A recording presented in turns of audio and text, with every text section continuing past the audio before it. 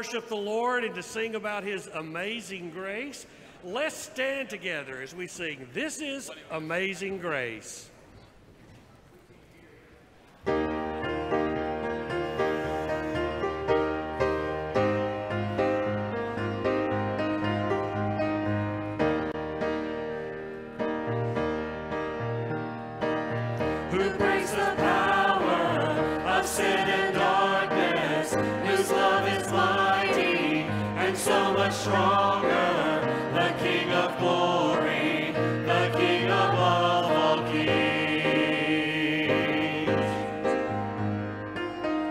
duše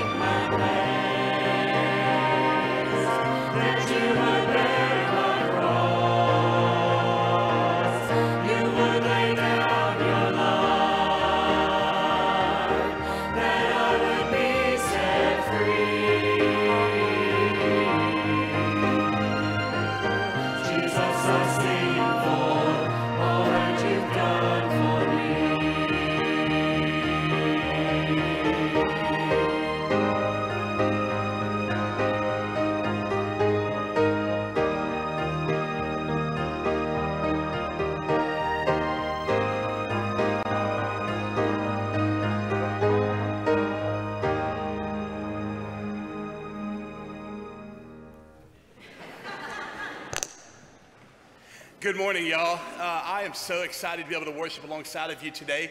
For those of you who don't know, my name is Clint Jackson. I'm the student pastor here at Highland Baptist Church. So, for those of you who are here with us in person, for those of you who may be watching online on Facebook or YouTube or any other means, uh, welcome. Thank you for choosing to worship with us today. A couple things I want to make sure that you're aware of. First off, if you are new here or if you are new watching online, I would love for you to do me a personal favor and text the letter is HBC to the number that you see on the screen behind me.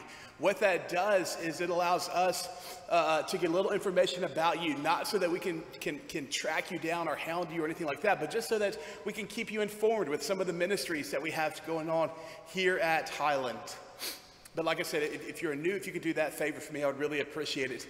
There are two people that I want to, I want to make special mention this morning. One of them you've already seen on uh, on this stage. Uh, Ken Hall is back with us this morning to help lead us in worship. Abby and Drew and, and, the kids, they are out of town this morning. So, Abby, I know you're watching with us. want to let you know that we miss y'all. We, are we're glad you're able to take a little time off, but we are so grateful to have Ken here with us again. If you were with us any this summer uh, while Abby was on uh, maternity leave, you, you know who Ken is. If this is your first time to see him, I encourage you to grab him after the service. Just let him know how much we appreciate him being willing to fill in for us today. Another person I want to bring to your attention is sitting right down here on the front row. Alan Carr is, is here on behalf of the Gideons. He's going to be speaking a little bit later in the service. Uh, there were two things he wanted to make sure that I mentioned. One is that he is here with the Gideons and how much he loves the Lord. The second, he said, not quite as, but almost as important is he, he's, he's not related to Dave at all. He, he wanted to make sure that y'all know that. Okay, small. Uh, in fact, that, he did say slightly related. In fact, that, that was exact wording. Um, yeah. But anyway, so Alan, we're so glad that you're here, man. Looking forward to how God is going to speak through you here in just a couple minutes. Um, we are going to be taking up a special offering for the Gideons at the end of the service. There'll be a deacon placed at every exit. So I do encourage you to give to that awesome ministry. If, if you brought your checkbook and want to give with a check, I do encourage you to, uh, um, you can make it out to Highland if you want to, but make sure that you put the word Gideon somewhere in the memo line so that we know where that is going to go. Again, we are just so grateful that you've elected to come and be here this morning to worship with us. If myself or any of the other staff can ever do anything for you, please know that we're here for you and, and are always looking forward to opportunities to serve each of you. If you'd allow me to do so, I would love to pray for us as we continue on with our time of worship today. Heavenly Father, we love you so much. And I just thank you so much for who you are. Thank you for you allowing us to be here this morning to be able to worship with you today. Lord, I pray that everything about who we are, our mind's attention, our heart's affection, everything that we are thinking about in this moment, if it's not you, Lord, that we would set it aside. Lord, whatever distractions, whatever obstacles, whatever things of this world we may have brought in here today, Lord, I pray that we would surrender them to you right now so that you would be the focus of our worship. Lord, I pray that we would not allow ourselves to be distracted to, by anything. We would now allow ourselves to be a distraction to anyone. But everything about who we are would be focused on who you are. Lord, we love you. In your name we pray. Amen. And now we're going to have our children's ministry video guys, with Libby. Happy, hey guys, happy Sunday. I hope you're having a fantastic Sunday so far. If you don't know who I am, my name is Miss Libby, and I'm the children's director here at Highland Baptist Church. And today I have a special verse for y'all. This is Luke chapter 3, verses 9 through 11. It says this The axe is already at the root of the trees. Therefore, every tree that doesn't produce good fruit will be cut down and thrown into the fire. What then should we do? The crowds were asking him. He replied to them, The one who has two shirts must share with someone who has none, and the one who has food must do the same. Okay, so Christmas is right around the corner, isn't it? It's like like two months away. And we are getting so excited about the things that we want to get for Christmas. Maybe it's a Nintendo Switch, maybe it's a new phone, maybe it's some new clothes, maybe it's the best thing ever, as you tell your parents. Well, what about those kids that can't afford anything for Christmas? What about those kids that don't have anything? Well, that's where we come in. So right now we are taking up donations for Operation Christmas Child. As you can tell, I am dressed as an Operation Christmas Child shoebox, okay? So this is my fashion statement for today. And so what our job is is to put donations into our little white baskets that we have spread out all throughout the church. You can put things in those baskets like washcloths, toys, hairbrushes, toothbrushes, um, um, bar soap, clothes, anything like that. Just no liquid and no food, basically, are the things that you can't put in there.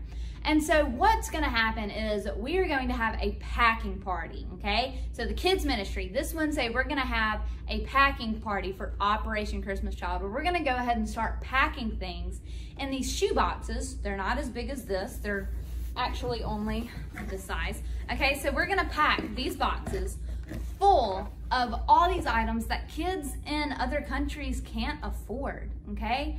And so parents, why don't y'all take y'all's kids this week or next week or the next and find some things for these kids that Operation Christmas Child boxes will go to and provide these kids with, with the best Christmas ever. Give them the best Christmas ever just by buying hair supplies, just by buying something to brush their teeth with because or a or a little toy bear whatever it is these kids are going to be so so thankful for everything that you've done for everything that you've packed in this box and they're going to have the best year ever because they got this tiny box full of items that they can use okay and so like i said if you find some items for this operation christmas child box drop it in these white baskets and then we will um, we will pack them on Wednesday with the kids ministry and then we'll have another packing party in the near future. Okay, so let me pray for us. Hey God, thank you so much for this day. Thank you for all that you bless us with. God, I pray for all of the kids that will be receiving a box from Operation Christmas Child this year. God, I pray that the items that are put in these boxes um, just just bring joy and bring happiness to these kids, God. God, these kids don't have anything in their they don't have they don't have anything um, with them in their life. And so God, I pray that these items that we give um, just brings glory to you, God, that these items show them who you are and why you're so awesome. God, I pray that you be with us as we go throughout the rest of this day. That's your name I pray. Amen.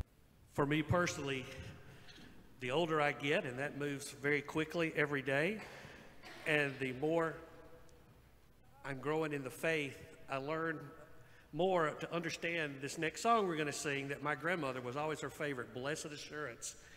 And to me, I always looked at it as it's just a great assurance of what God has planned for me, not just on this earth, but past. But oftentimes, I think we just think about it as it's our future, but blessed assurance is today.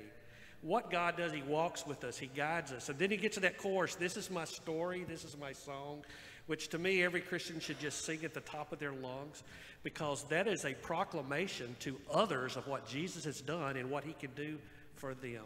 Let's stand together as we sing Blessed Assurance.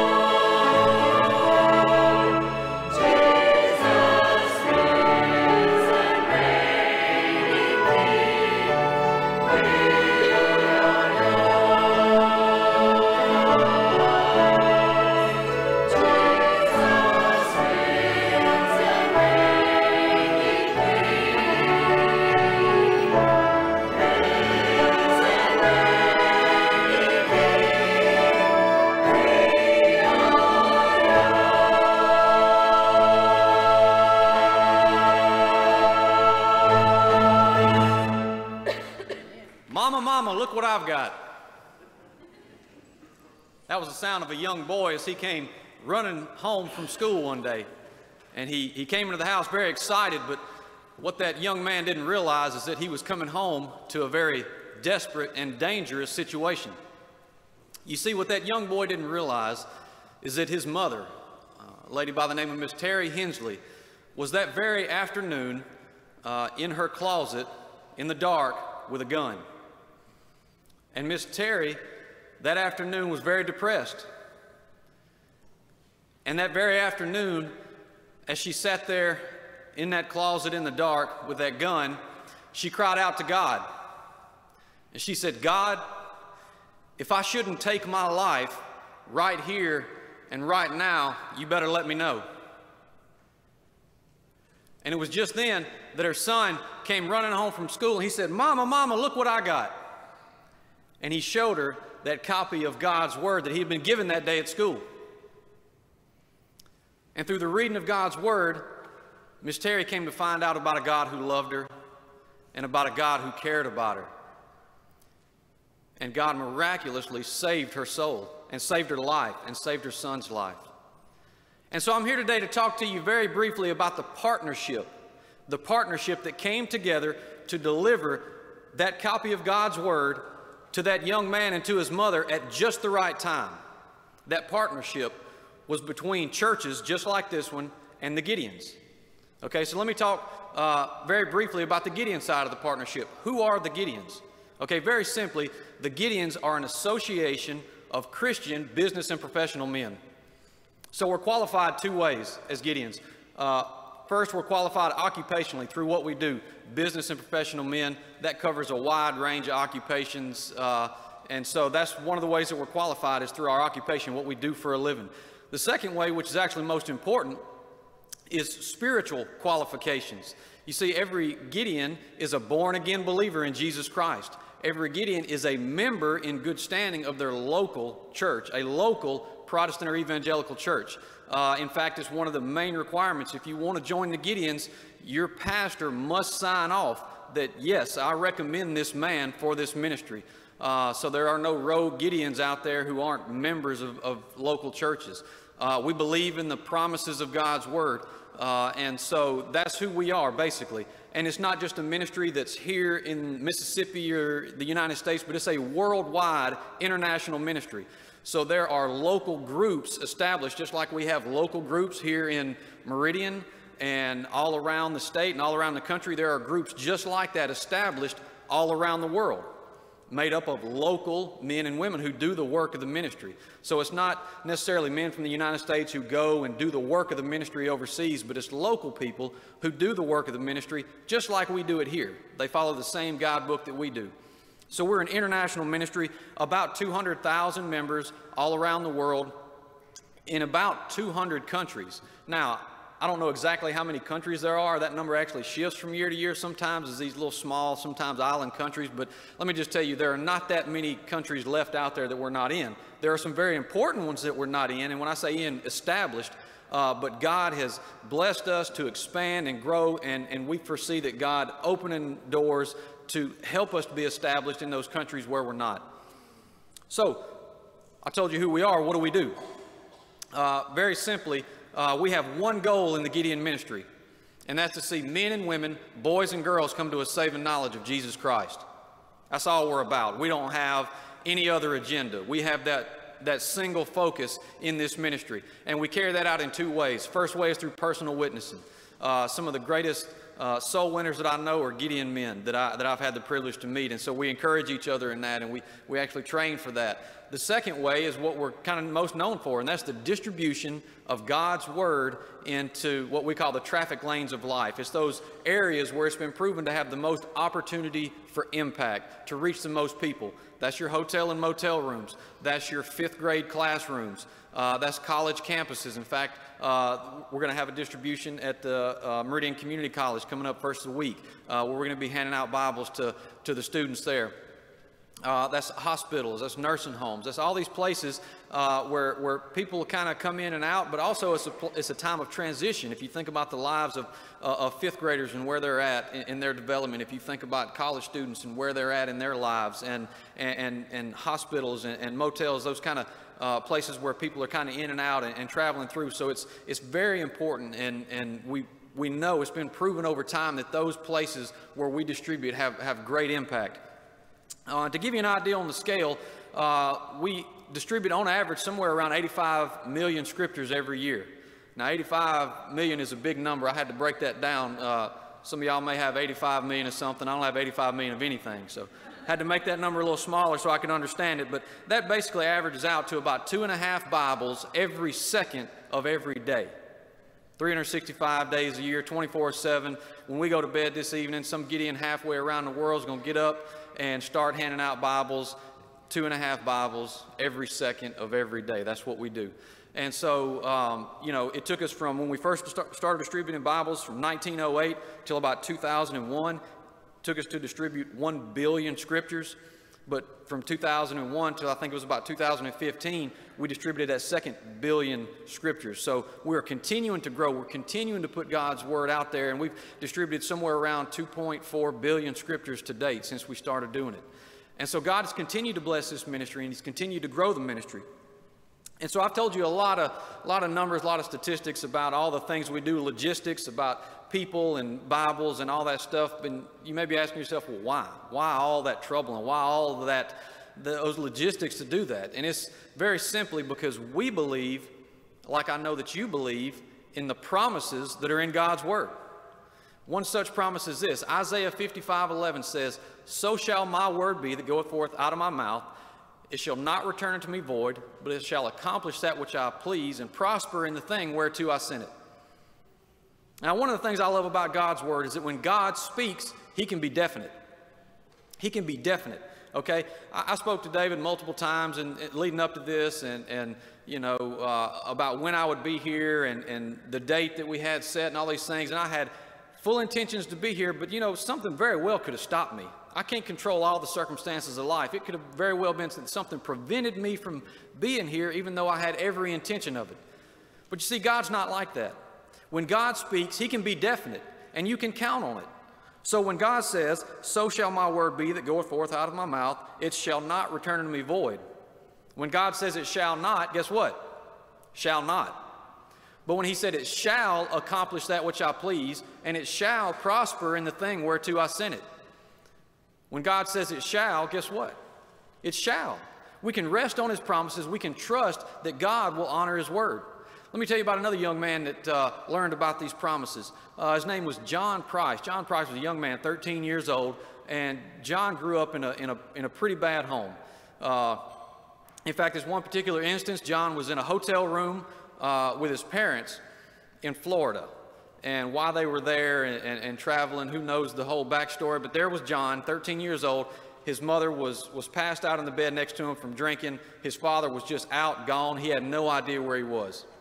And so John, uh, you know, young man, just kind of bored, sitting around the room, found the Bible that was there in that, uh, in that hotel room. And, and he just kind of opened it up and didn't have any idea what to read. See, his parents were atheists. They, they, they hadn't taught him anything about God's word or, or, or about who God was, but he just kind of flopped open the Bible and he found Psalms 27, verse 10, that said, When my father and my mother forsake me, then the Lord will take me up.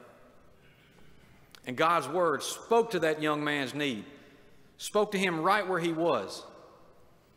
And through the reading of God's word, John Price came to know Christ. You see, that's the power of God's Word. And, and I could sit up here all day and tell you stories. Believe me, I've got them. Stories about how God's Word delivered at just the right time, that partnership that delivered those copies of God's Word at just the right time, saved lives, changed not just families, but whole communities. I, have got stories about uh, men who were called into the ministry through just a Bible that they received um, at a school distribution and they read it and it changed their life and they went into the ministry and they started churches and planted churches and I mean changed whole communities and countries really. God's word has a has an exponential effect. It doesn't just affect the person who reads it and is changed by it, but affects all of them around them. But let me tell you now about the church side of the partnership. You see, because the, as Gideons, um, we don't partner with any other outside ministries. Okay, we partner with local churches, and that's it. Okay? We don't fundraise in any way. You'll never hear the, the, the, Gideons on a TV or radio asking for money or billboards or, or, or, or, bake sales. Not that there's anything wrong with any of those things, but it's not what God has called us to do. God has called us to partner with local churches. In fact, we consider ourselves really just a, a, a missionary extension arm of the church because, as I said earlier, the Gideons, we are made up of members of local churches, local Protestant and evangelical churches. So that's who we are. And so the, the only way we have to accomplish this ministry is through partnership with the local churches. So hopefully you're asking yourself this morning, well, how can I partner with the Gideons? Well, let me tell you very quickly. Number one is that you can pray for us. You can pray for the ministry. You can pray for the men uh, uh, around the world who are doing the work of the distributions. Uh, it's not always as easy as it may be here, where uh, you know there's not a lot of resistance sometimes, uh, even though that that is somewhat increasing. Uh, but there's not that much resistance to passing out Bibles and, and putting them out there. Some places it is very difficult. Some places it is extremely difficult to distribute God's word, but these men are faithful to do it. Pray for them. Pray for the ones who will receive those copies of God's word, that it will change their life because we know it has the power to do that. Uh, second way that you can partner with us is through membership. Membership. Uh, with the crowd that we have today, let me just say that I feel certain that there are some men in here that I believe have been called to join the Gideon ministry. You're qualified occupationally, you're qualified spiritually, and I pray that God is moving on you to join the Gideon ministry. We believe it's a God called ministry, and, and, and uh, you talk to men that have been a part of it, and it is such a blessing on your life. There's an opportunity for your wife to serve alongside of you. They're called the auxiliary. That's the wives of Gideons that can choose to join if they want to, and they have a, a vital role in the ministry alongside of their husbands, and, and, it's a great opportunity for a husband and wife to serve together in, in a great ministry.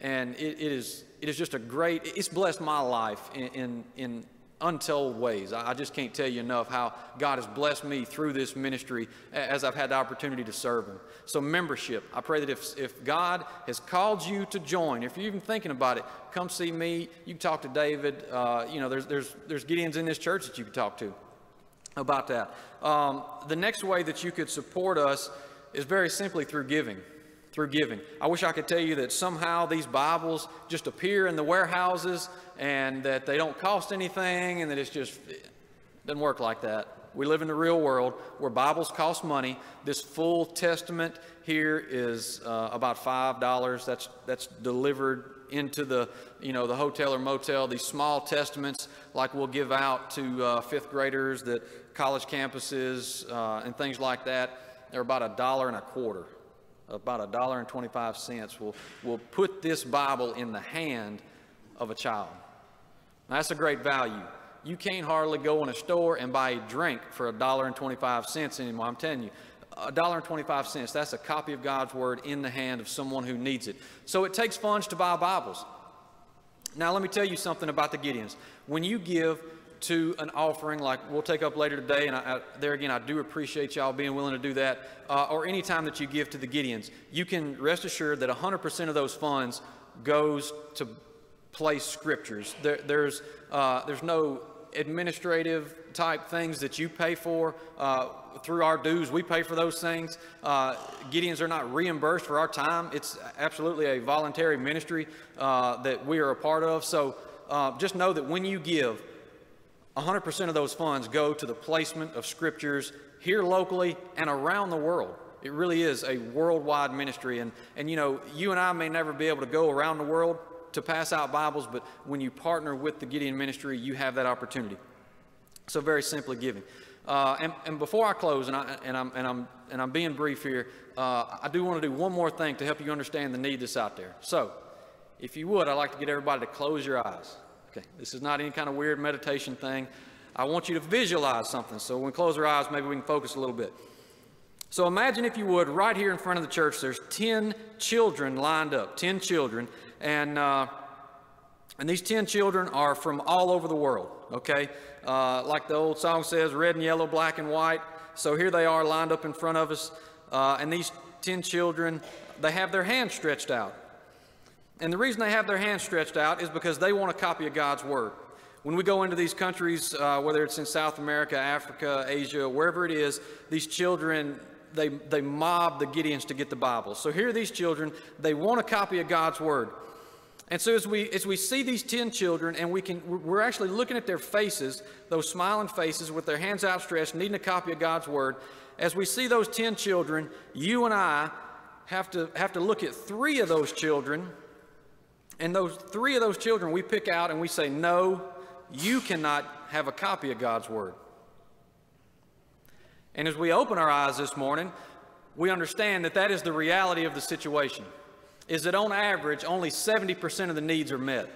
When I say 70% of the needs are met, what I mean is some of these countries that cannot afford to buy their own Bibles. They're, they're a Gideon ministry, but these, these men are living on dollars a month, and they can't afford that dollar and 25 cent Bible.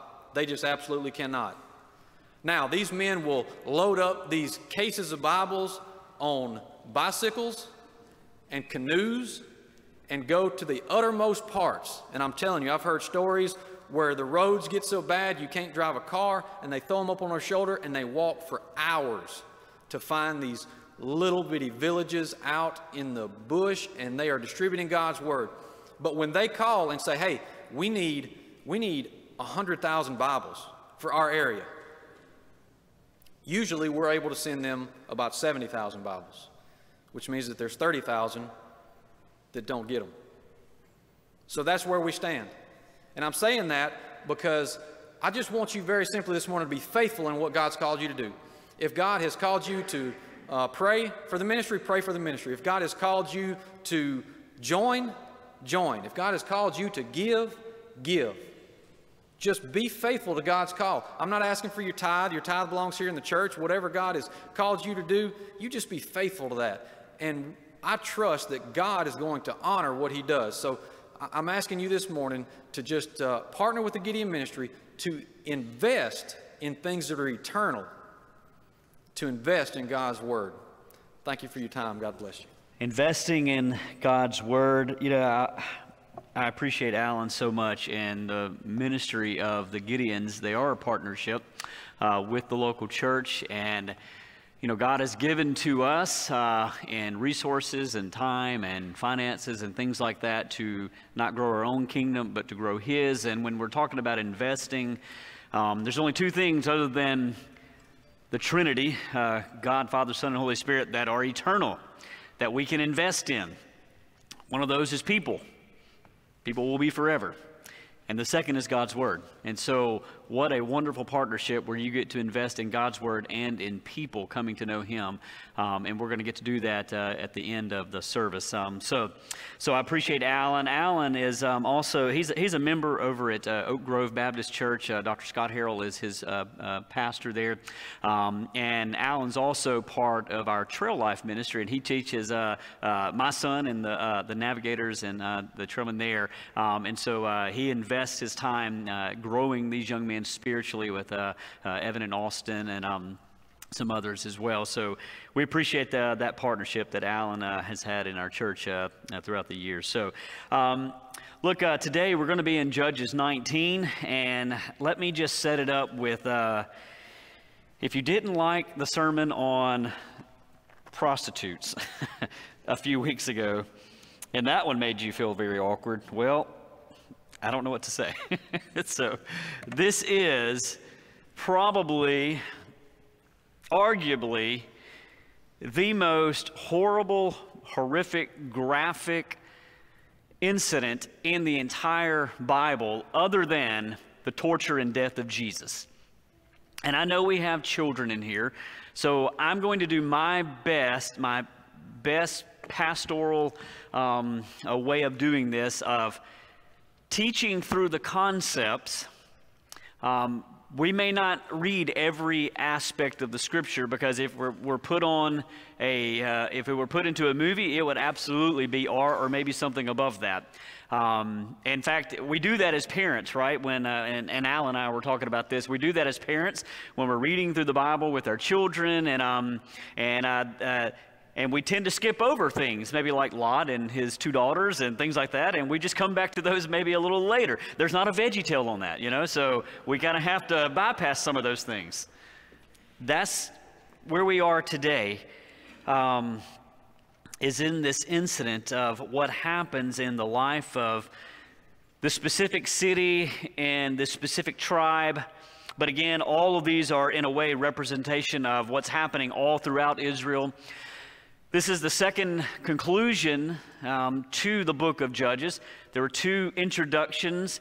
Where they have a crisis of inheritance, a crisis of faith, and then you have six major judges, six minor judges. The judges often are the only ones that are holding up the covenant um, of God, and so they're rescuing God's people as God's people continue to pursue sin. God continues to pursue them, and then we get to the conclusion. Uh, there's two conclusions, like there are two introductions, and this one uh, we looked at the first one last week. This one's sort of a a reverse image of uh, the one that we looked last week. We met a Levite uh, last week in chapter 17 and 18, and we meet another Levite this week. Uh, it's not the same Levite. Um, in fact, one is going from Jerusalem. Uh, the one in 17 and 18 is traveling from Jerusalem in Judah, or, or not, I'm sorry, not Ju- uh, Bethlehem in Judah, up to Ephraim in the hill country. And I uh, remember he was hired. Uh, he was sort of looking out for himself. And then this one this week is traveling from, uh, it's going the opposite way. And so these are two different guys. One is only looking out for himself. The other one that we're going to meet today is actually quite the opposite. He's looking out for someone that's very close to him. And so in this, I was thinking about how do we make this relevant, and even it, that is so graphic. Uh, and where are we as believers trying to figure out when we come to the scriptures, what is God saying to me?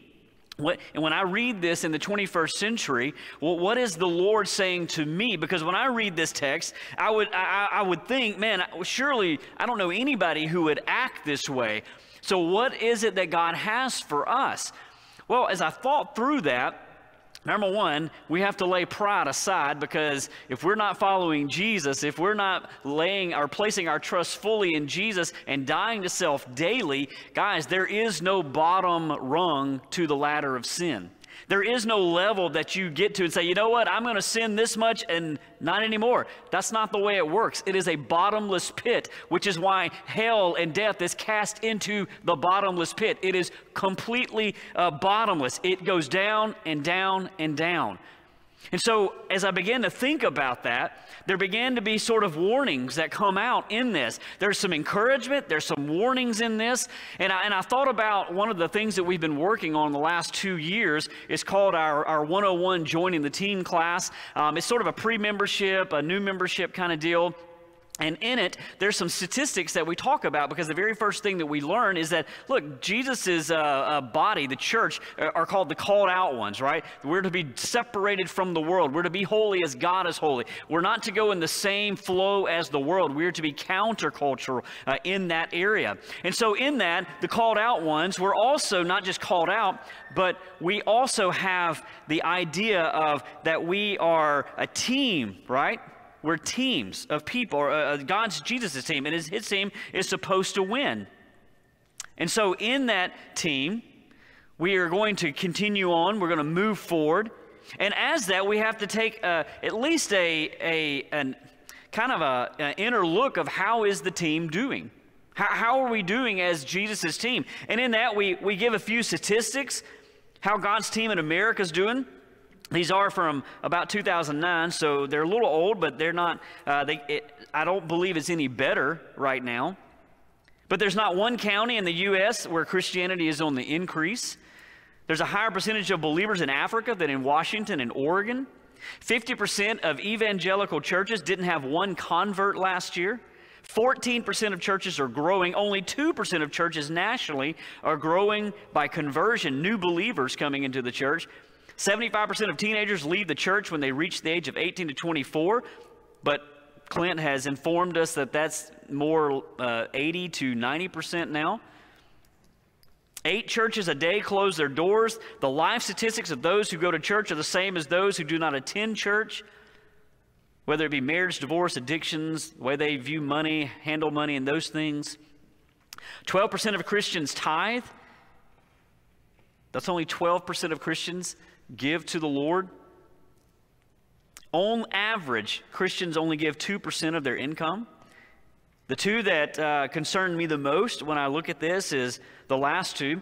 51% of Christian pastors have a biblical worldview. That means they view the world like the, the way the Bible says to view the world, um, that everybody is not good, We all have a sin condition, and we need to be redeemed out of that sin condition. And the only way for that to happen is Jesus died on the cross, and our faith must be placed in Him, and we follow Him daily.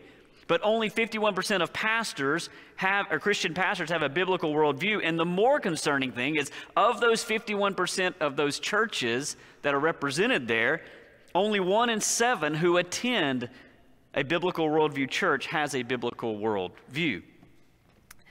Meanwhile, U.S. has the world's largest Buddhist temple, uh, largest Muslim training center, largest Jewish population, eighth largest Hindu population. So when we looked at last week, the principle that we saw will be transferred into this week. You and I will become what we worship. Whatever has our hearts is what we will actually end up doing. And when God sent his people into Canaan, because God had given that land to Abraham. They'd went into captivity for 400 years. They're coming back. And so God, this is their inheritance. And so God has given them, and he's even said it from the very beginning of Judges, I've given this land to you. So all they have to go do is take the land. God's already said, it's yours, but you got to go get it. You got to display faith. You have to step out in faith and claim the promise that God has given, right? Great salvation um, uh, metaphors and application there. And so they, they, they partly did that, but as they continued to live among Canaan, instead of making Canaan like God's people, they ended up becoming Canaanized. See, the longer that you and I believe what the world is teaching, the more that we'll become or begin to behave like the world. Belief always leads to behavior, it never changes. So, what are you believing in the world today? What are the promises that the world are giving you? That this uh, separation of this relationship, and eh, you know, put that aside. You know, I know that you made a covenant there, but you know what? It's better and easier over here. So do that. Do what's best for you. Or make this deal over here. You know, nobody's going to know it. It'll make you happy. Make that business deal. What are you believing that the world is teaching you? That life is really all about us? That we are the center of our own universe? That everything that we do should be wrapped in and how it makes me feel? What are you believing about the world? Because if you are believing those things, if I am believing those things, it will not be long until I become I begin to behave like those around me. In about eight minutes, let me take you through Judges 19. And if kids, if you have questions, feel free ask your parents after I'm done. so There's three stories here. Three stories. There's a story of love, a story of hate, and then a story of justice. In the story of love, it begins with another Levite who is, uh, he, he's from the hill country and he wants to uh, uh, he, wa- he wants a, a, a, a, lady in his life. And the, the text calls her a concubine. A concubine has many different meanings in the scriptures. Sometimes it was a second class wife or at least some commentators use that terminology. Some every, one time we have in ecclesiastes 2.8 that it was somebody used for uh, sexual gratification. Uh, a lot of times it was um, the fact that you would uh, marry a person or bring in a concubine um, uh, to uh, uh, kind of serve as a secondary, not wife, but surrogate. Um, Abraham and Hagar uh, was part of that idea. Um, but really, when you boil it all down, no matter what, you know, when you look at Scripture, really what the, uh, the concubine was, was a bride without the dowry, a bride without the bride price. See, every the inheritance in Israel was an important thing. Every child got part of an inheritance of the parents, even the daughters did. But the, the inheritance is called the bride price. They would send that bride price, that inheritance, into the marriage with that lady. But this lady doesn't have one, which is why she's called a concubine.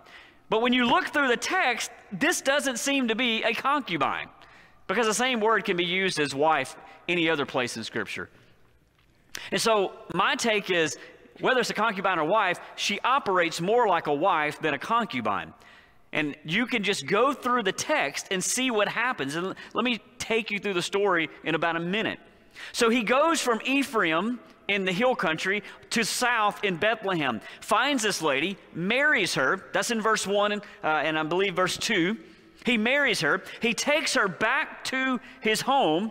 They have a home there. By the way, Levites are very poor. They don't have an inheritance in Israel. In fact, they're more like uh, missionaries. They don't work at the temple. They're more like missionaries, maybe like Gideons, where they just they're they're dispersed throughout the land of Israel to help people understand how to follow God. That that's what they're there for but they don't have an inheritance. So they're technically, they're very poor, which is why the first Israelite took that job and the job promotion. We can understand that. Um, and so he doesn't have much money. He's marrying a lady who doesn't bring anything into the relationship.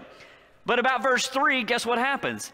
She leaves. It says that she's unfaithful, but that doesn't mean that she has, uh, she's been unfaithful uh, in the marriage covenant uh, in adultery more than likely she's been unfaithful because she's just abandoned him. Because where does she go? She goes back to her dad's house.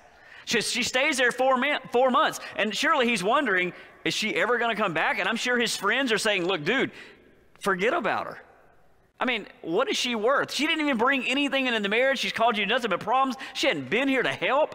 I mean, it's bad enough to be poor and single. Poor and married, that's even worse, they're saying, right? Just let her go. Go on. Find somebody else. But what does he do?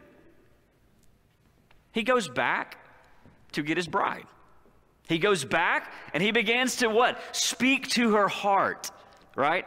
He begins to woo her. He begins to tell her the same things that got her attention in the first place. You remember that, guys, right? When you were dating? You're so sweet. You're like the morning sunrise. You may have gone to Song of Solomon and started reading that. I don't know. But you started to woo your wife. That's what he's doing here. He spoke to her heart. And guess what? It worked. She won, he won her back. What an awesome story. So he won her back, and then they're going to go back home. And so they, they, he also, by the way, brings her a donkey. That's pretty special, right? I mean, would you want to walk everywhere? No. He has a donkey. He has one for him, and he has one for her. Brought it. They sat, saddle up on that bad boy, those bad boys, and they head off. They get to a town, and they have to spend the night. And this town is in, uh, it's called Gib- uh, Gibeah. It's in the tribe of Benjamin. And so they meet this guy, uh, this old man coming from the fields. Nobody takes them in that is a, a Benjamite there. In fact, the old man coming in is from Ephraim. Maybe he just felt sorry for them because maybe he remembers this guy being from Ephraim. And so he takes him in because he says, You don't need to spend the night in the square. And so he takes him in. It shows hospitality. And there's the hospitality of the dad, the hospitality of the stranger, and all of this. So, what do we learn in this? What is the principal concept I want to show you here? This Levite is very representative of God's relationship with his people throughout Israel. They brought nothing into the relationship. They were unfaithful in the relationship, but God did not give up on them. He kept coming back for them. He kept wooing them back to himself. We have a whole book through the prophet Hosea that illustrates this. It is this relentless pursuit of God that he has, that God pursues sinners. God will always pursue sinners. And he does us the same way because we're in the same boat. That there's nothing you have ever done or could do that God will say, you know what? That's enough. I can't save that. I can't pay for that sin. I can't reach that person with my grace. There's nothing you could ever do that would far out sin the grace of God. God is there. He relentlessly pursues sinners. But then we get to this next section where the story of hate. I'll gloss over this one, not to water it down, but uh, the graphic nature of it. You can look at it later. But basically, it is a story of uh, this horrendous incident that mirrors Genesis 19. As you read it, you'll see all of the similarities. There's 10 similarities in this, uh, this story. Listen to these similarities here. The travelers, both stories, arrive at a town in the evening. By the way, Genesis 19, Sodom and Gomorrah. This is uh, Gibeah. Travelers arrive at a town in the evening. A host urges the guests not to spend the night in the town square. The host is a sojourner, not a native in the city. All of the men in the city surround the house. Five, the men of the city make the same demand of the host. Bring them out to us so that we may know him. That's a euphemism for probably you know what. Number six, the host goes out to the men of the city and leaves the visitors in the house. Number seven, the host pleads with the men of the city not to do this wicked thing. Again, the verbal parallels are even striking. Genesis 19:7 I beg you my brothers do not act so wickedly. Judges 19:23 No my brothers do not act so wickedly. Number eight, the host offers two women as a substitute for the men. By the way, I do not believe he intended them to uh, die. Um, I don't have time to get into that, but I don't believe that was his intention. But nevertheless, that's what he does, unfortunately. The men of the city, number nine, do not want the women as a substitute. Number 10, all the inhabitants of the city are eventually destroyed and the city is burned with fire. So if you read this, you're wondering what in the world's going on here. There's this parallel between Genesis 19 and, Gen- and Judges uh, 19. And really, the, the essence here is we look at Sodom and Gomorrah and we're like, oh, of course God should do that. Look at these people. They're Canaanites, so to speak. They're, they're heathen. They, they don't know the Lord. They're not following the Lord. But that can't be said in Benjamin. They're God's people. God's own people have began to believe like Canaan. Now they're behaving like Canaan. And so God is going to judge them just as he judged Sodom and Gomorrah. There won't be fire and brimstone being rained down. It will be an all out war, a civil war that will cause their downfall in the end of chapter, or beginning in chapter 20. See, God relentlessly pursues sinners because, get this now, Sinners relentlessly pursue sin. That's all we know. Our heart, from the moment that we are born, is bent away from God and toward ourselves. You know what God is doing all through the Bible? God knows something that we need to grasp, that we need to know more than anything else, is that God is not just saving us from hell, He's saving us from ourselves. Because given the chance, if we are not uh, following Jesus, if our heart does not belong to Jesus, we will choose self every single time. And so we see this incident here, Judges 19, Genesis 19, people completely and utterly pursuing sin. And then we see the story of justice at the ending part, verse 27. It's gruesome, it's graphic. I won't describe it, but there is a dismemberment of uh, the concubine and sent through all of Israel.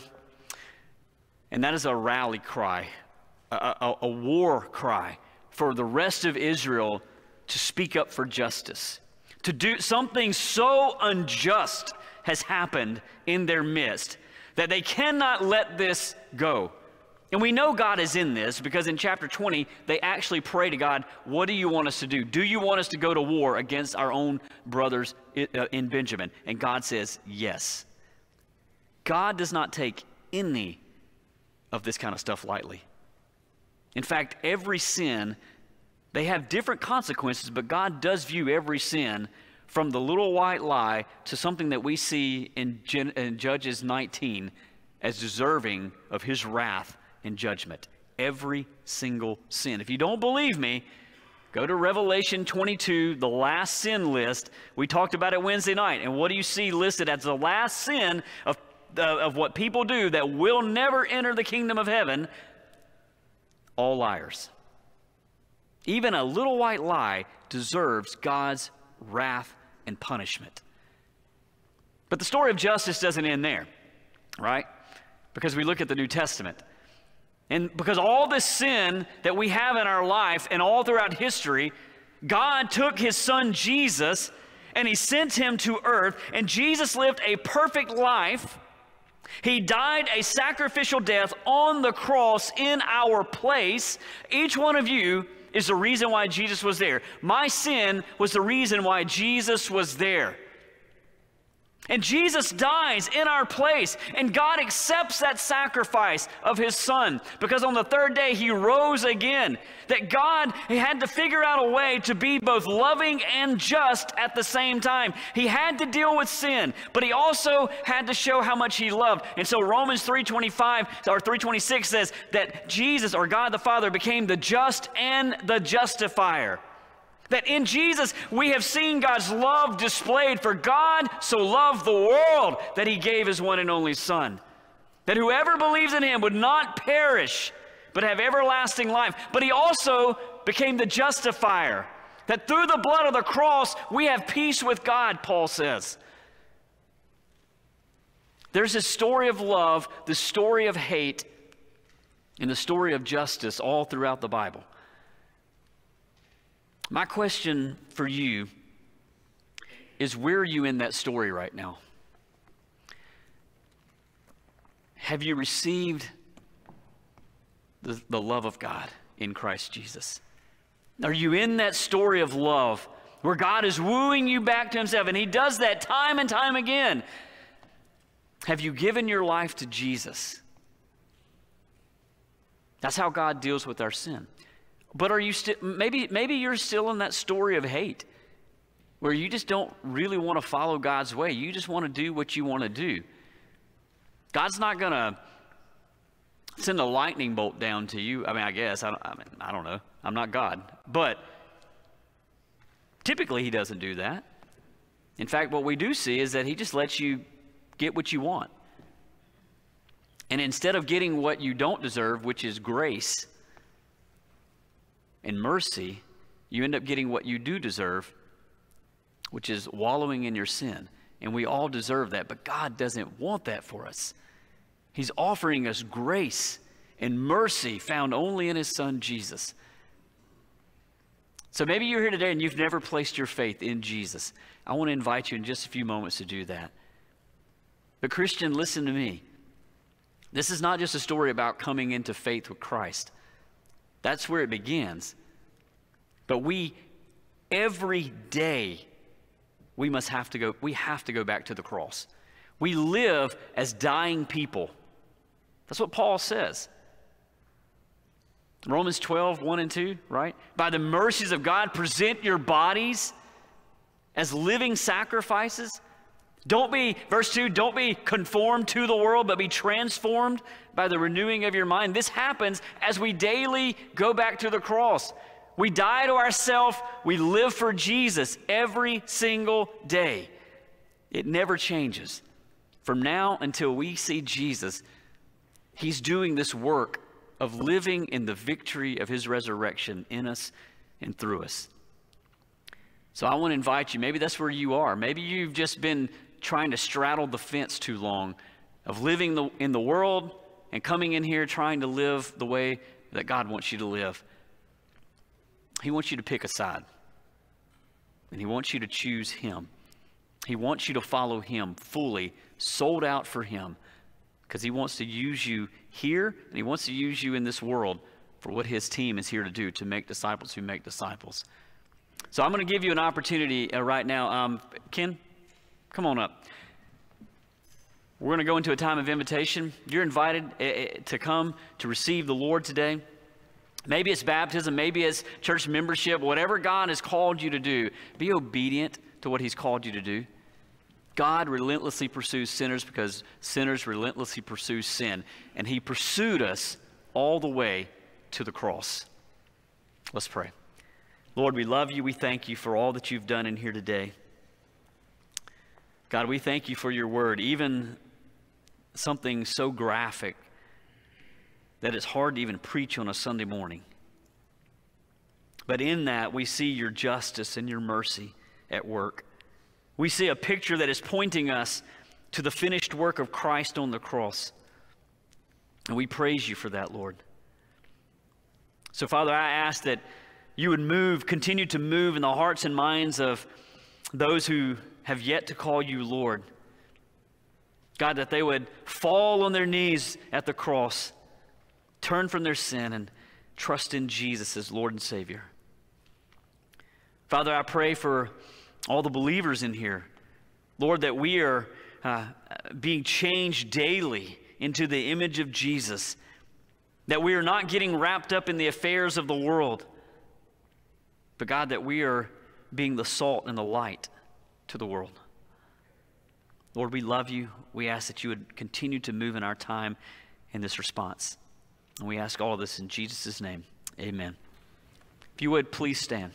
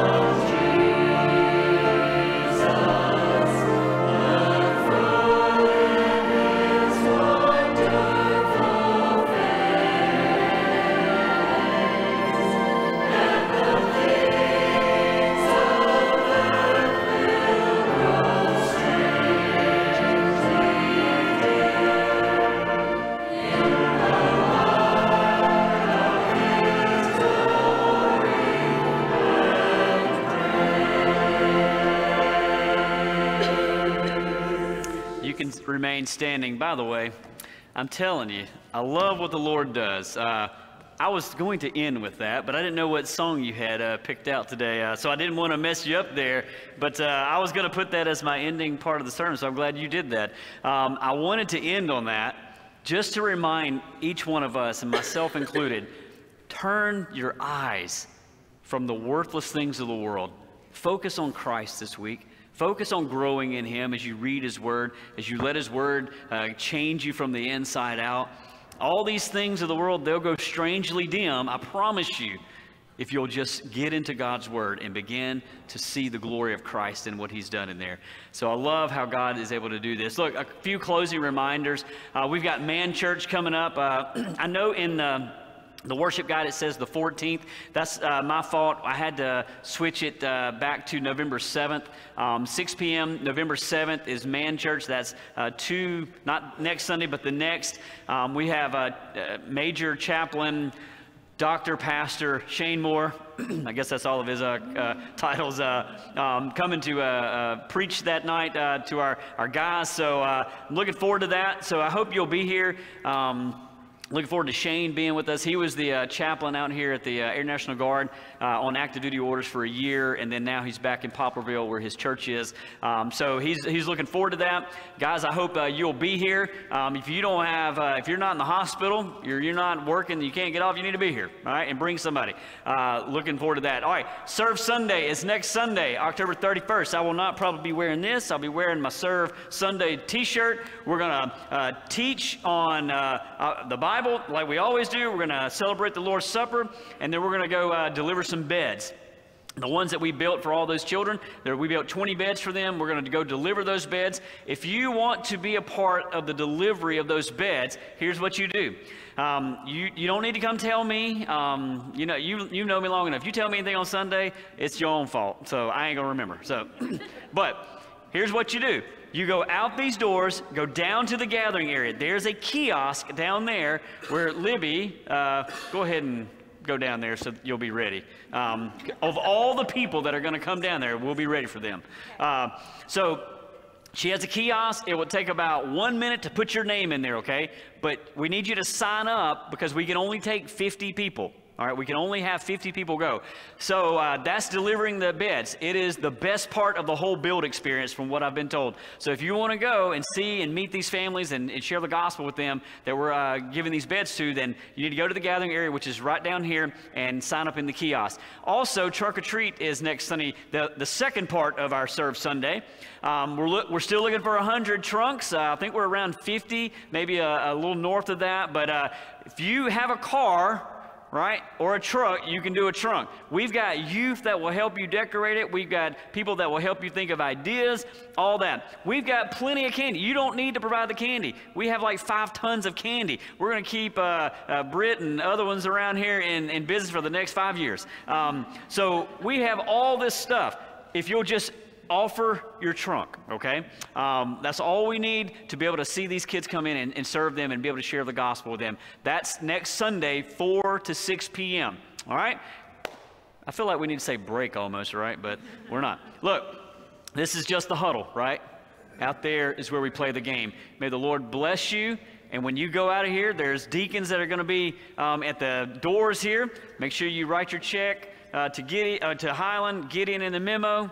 Um, cash is also there, and then they'll gladly get that to Alan. Alan, thank you again for coming. Look, Lord bless you, keep you. May, may, may he make his face to shine upon you and give you peace. We love you. We'll see you the next time.